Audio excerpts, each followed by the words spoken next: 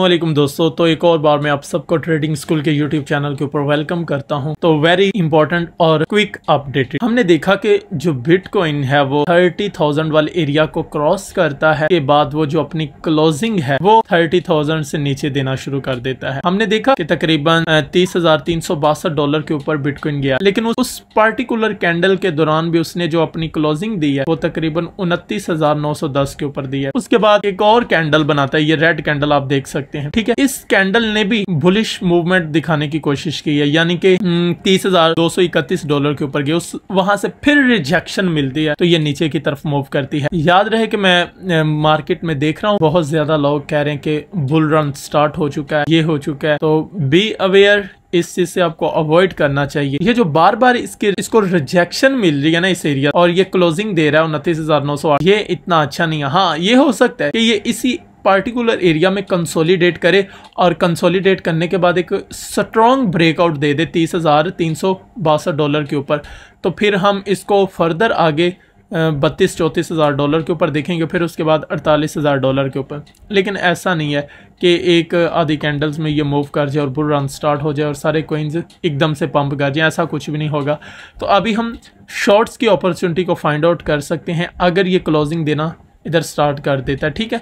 यानी कि इसी रेंज में, उनतीस हज़ार नौ सौ आठ, उनतीस हज़ार आठ सौ की रेंज में ये क्लोजिंग देना शुरू करता है। तो इट्स मीन कि सेलिंग प्रेशर मार्केट में बहुत ज़्यादा है। तो हमें सेल की अपॉर्चुनिटी ढूंढनी पड़ेगी। और दूसरी बात कि इतना कॉन्फिडेंटली आपने ट्रेड नहीं करना। आपने अक्सर न्यूज़ देखी हुई है ई अप्रूव हो रहे हैं। फिर दूसरी बात ब्लैक रॉक के जो सी हैं, वो इनकी रिस्पेक्ट करें बिटकॉइन की, वो ज़्यादा थोड़ी सी फेवर करते हैं, आपको पता ऑलरेडी भी। तो जिस वजह से हमें बुलिश मूव देखने को मिल सकते हैं। वैसे भी आर्ट्स को इन्हें भी काफ़ी अच्छा गेन किया है। लेकिन आप, ये जो एक साइन अभी मिल रहा है, ये थोड़ा सा डेंजरस है कि बिटकॉइन सेल की फेवर में जा सकता है, क्योंकि बार बार रिजेक्शन ले रहा है। क्योंकि ये वन डे का मैंने टाइम फ्रेम ओपन किया। अगर मैं वन आवर का टाइम फ्रेम ओपन करूँ तो आप देख सकते हैं कि बिटकॉइन इस एक पार्टिकुलर जोन से मैं एक एरो ले लेता हूँ। फॉर एग्जांपल ये देखें। उसी जोन में जो हम वनडे के ऊपर बात कर रहे थे, तीस हज़ार तीन सौ बासठ डॉलर के ऊपर गया। उसके बाद रिट्रेस किया रिजेक्शन ली स्पॉट बनाई। स्पॉट बनाने के बाद फिर बाद में उसी रेंज में ऊपर की तरफ़ उछलता है। तो उधर से फिर रिजेक्शन मिलती, फिर नीचे की तरफ़ मूव करता है। अब थर्ड टाइम फिर उसी रेंज में ऊपर की तरफ़ गया है और थर्ड टाइम रिजेक्शन लेके नीचे की तरफ़ मूव कर रहा है। तो इट्स मीन कि ये एक अच्छा साइन नहीं है बुल रन के लिए। क्योंकि आपको पता है thirty thousand area as a major spot के तौर पर काम करता है प्रीवियस दिनों में की भी बात है। तो खैर, आप सेलिंग प्रेशर में जा सकते हैं, उनतीस हज़ार तीन सौ सैंतालीस डॉलर को जैसे ये क्रॉस करेगा बिलो द लाइन्स फिर आप फ़र्स्ट टारगेट जो है वो अट्ठाईस हज़ार आठ सौ इक्यानवे और अट्ठाईस हज़ार एक सौ बत्तीस डॉलर का रख सकते हैं। तो ये छोटी सी एक इन्फॉर्मेशन थी बिटकॉइन के बारे में। इसके बाद एक लिंक प्रोजेक्ट है। आप लिंक को देखें तो आपको नज़र आएगा ये भी काफ़ी दिन हो गए हमें बुलिश मूव दिखाई दे रहा है। ठीक है? जितने भी शॉर्ट लिक्विडेशंस वाले शख्स हैं, ये देखें। इस एक पार्टिकुलर जोन में लिंक जो है वो रेजिस्टेंस बनाता है रिजेक्शन लेके नीचे की तरफ़। फिर इस पार्टिकुलर जोन से सपोर्ट लेने के बाद ऊपर की तरफ़। फिर उसके बाद रिजेक्शन सेम उसी जोन में। फिर रिजेक्शन उसी सेम जोन में। फिर ये एक छोटी सी रेंज बनाता है। उसी जोन में भी काफ़ी मरतबा हमें रिजेक्शन देखने को मिली हुई है। अगर आप देखें ना इस पॉइंट के ऊपर तो इधर से भी काफ़ी मरतबा वो रिजेक्शन ले चुका है। सेम एज इट इधर देखें, ये वाला जोन भी रिजेक्शन वाला है। इसी तरह स्मॉल रेंज में, फिर उसी तरह ये हमारे पास रिजेक्शन जोन तो मीन्स के इधर जितने भी लोगों ने सेल किया हुआ है तो ज़ाहरी बात है उनके स्टॉप लॉस कुछ लोगों के इधर पड़े होंगे।